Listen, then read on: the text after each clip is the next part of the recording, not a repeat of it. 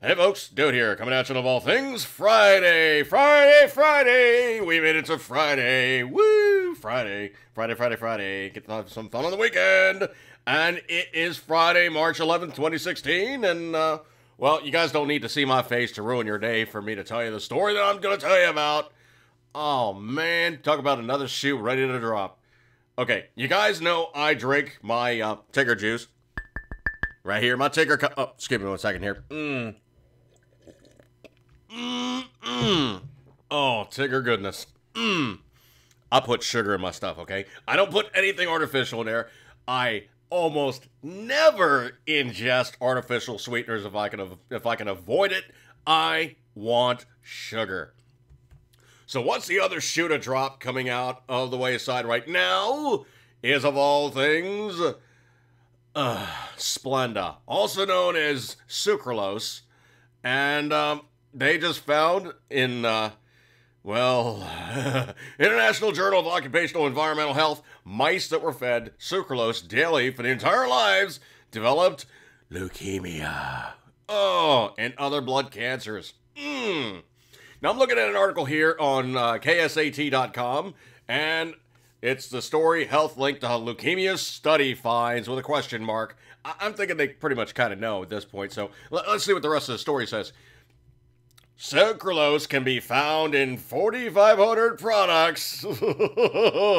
You're probably going to find it. It's also known as Equal. It's also known as Splenda. It's either the yellow or the blue package. And uh, Mrs. Dude tends to ingest quite a bit of it. I, I think we're going to have a talk, and it's going to be like, um, honey, you, you probably don't want to eat this stuff if you can avoid it. Please don't don't eat this crap, okay? I don't need you going down with blood cancer and all the rest of this horrible, you know, nasty stuff. Um, but the thing about it is, is it it's not good, okay?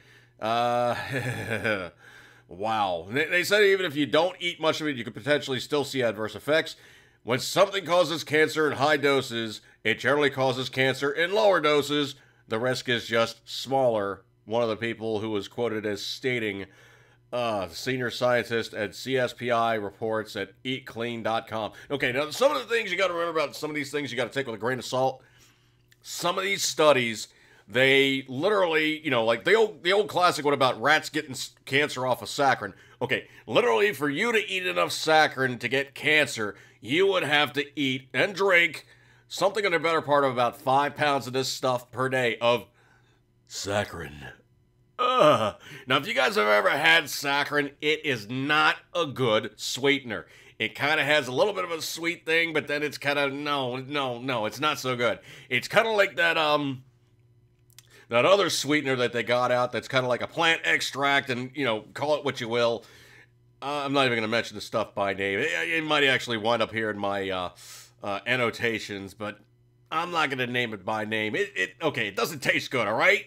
Stevia. Oh, oh, darn. Did I say the name accidentally? Oops. Oh, darn. Yeah, stevia is not a very good sweetener. It's not artificial, but it's not sweet, okay? It's got this bitter, nasty, kind of icky thing going on. It's not good, all right? If I'm going to put something in something I want to be sweet, I don't want a bitter aftertaste. I don't want something to taste like I've been licking the inside of a beaker in a laboratory. And I sure don't want to eat the stuff and then go screaming for the hospital going, uh, Doc, what's wrong with me? Things are popping out all over the place, and it just doesn't feel right when I X, Y, and Z.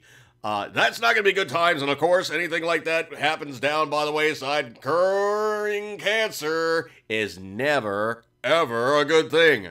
Um, by and large, just use sugar, okay? Use less sugar, but use sugar, all right? Don't use all this artificial laboratory crap that keep coming up and going, it's a sweetener.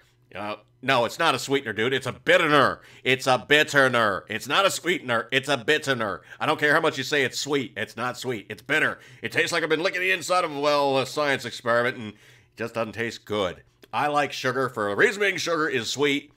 It serves its purpose. You get it out of a plant, you concentrate it, you eat it, it's sweet, okay? You don't need to jack around with something that doesn't need to be something that you don't eat in the first place. Laboratory experiments, ugh. Don't eat Splenda if you can avoid it, okay? I'm gonna break up with this one, folks. Eat good, keep centering as always, always. You know you love it. Just use sugar, okay? Just use sugar. Ugh, just use less sugar. Uh, diabetics, try to avoid sugar at all costs, but you know, if you do, use only a little bit, okay? I'm gonna break up with this one, folks. See you guys.